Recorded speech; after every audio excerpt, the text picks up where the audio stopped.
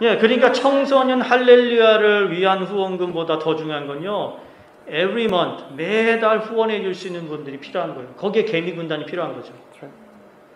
제가 또 한 가지 말씀드릴까요? 큰 교회가요. 그러니까 10년 전에 10년 전에 에, 우리 여기 큰 교회들 미국 뉴욕에 있는 큰 교회 몇 교회들이 담임 목사님이 바뀌면서요. 후원금 다 끊어졌습니다. 그 전에 1세 목사님, 나이 드신 목사님들은요. 청소년들을 위해서 그래도 꼬박꼬박 후원금을 주셨어요. 청소년센터에. 5천불, 만불.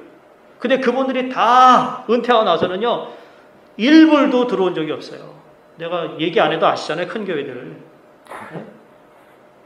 이게 말이 되냐고요. 그러면서 자기 교회 교육, 자기 뭐 이거 뭐 사역을 청소년 얘기하는데 그래서 다 거짓말하지 말란 얘기예요. 네? 그런 말 하지 말라고. 지금 제가 뉴욕에서 산 지가 39년째입니다. 제가 13살부터 뉴욕에 살았어요.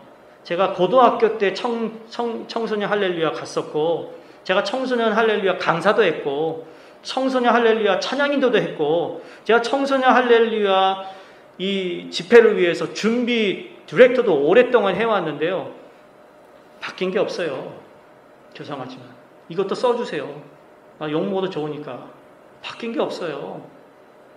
무슨 다음 세대, 내 교회가 아니면 신경 안 쓰는 게 오늘날의 교회예요. 이게 바뀌지 않으면 미래가 없어요. 한 번 어제와 지난주 왔던 그분에 대해서 감동을 받아서 막 그 마음, 그, 그 마음을 가지고 선교비 내라는 거예요, 청소년을 위해서. 마음만 있으면 뭐합니까? 감동은 받을 수 있어요. 그게 현실로 나타나야죠. 왜? 이건 너무 시급한 일이에요. 제가 이런 예언할까요? 5년, 10년 안에 한인 미민교회 미래가 없어요. 미래가 없어요. 다음 세대가 없는 교회는 미래가 없어요. 끝이란 얘기입니다. 그냥 그러고 그냥 넘어갈 겁니다.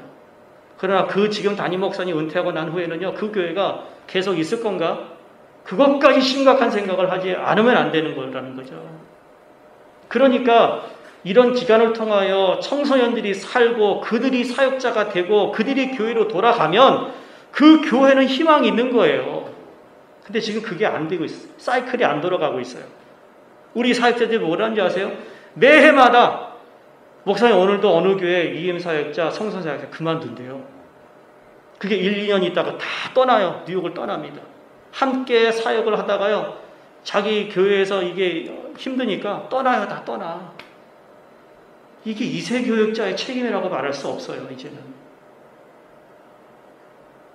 아, 제가 50인데 50 넘었는데 이민 1.5세로 여기 30대인데 말이에요. 이들이 여기서 한 번끔 점프를 할 수 있는 기회가 없으면요.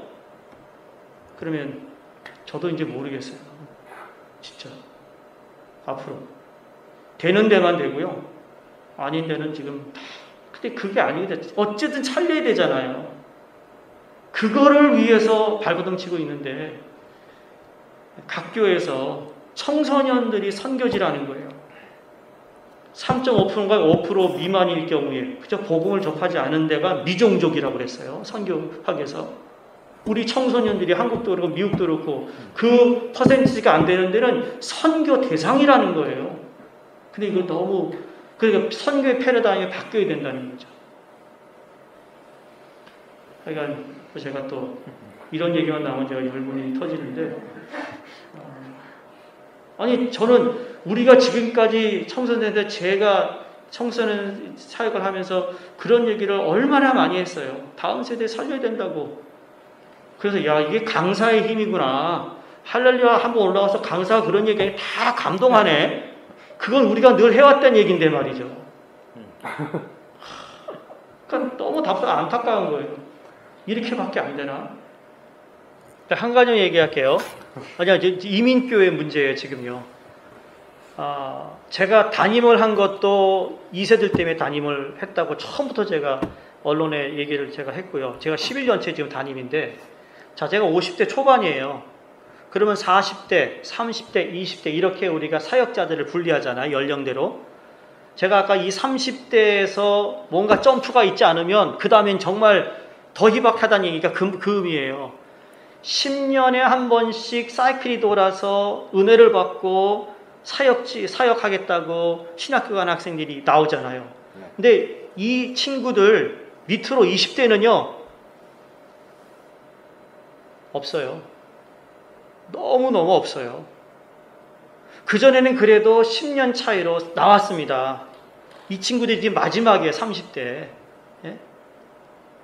그러니까 20대 여기서 은혜를 받고 이 아이들의 도전해서 이 아이들이 부흥을 해서 이 아이들이 그 다음에 이제 신학교를 들어가야 되는데 그 신학교 가겠다라는 사람이 과거에 비해서 너무 낮은 거예요. 그러니까 신학교가 문 닫는다고 얘기하잖아요.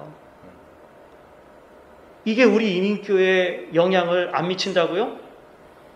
점점 점점 시간은 가면 갈수록 이 친구들이 지금 마지막 프론 라인이 될 수 있어요. 이게 여기서 한번 점프가 되지 못하면 그래서 제가 그 말을 말씀드리는 거예요. 너무 힘들어진다고요.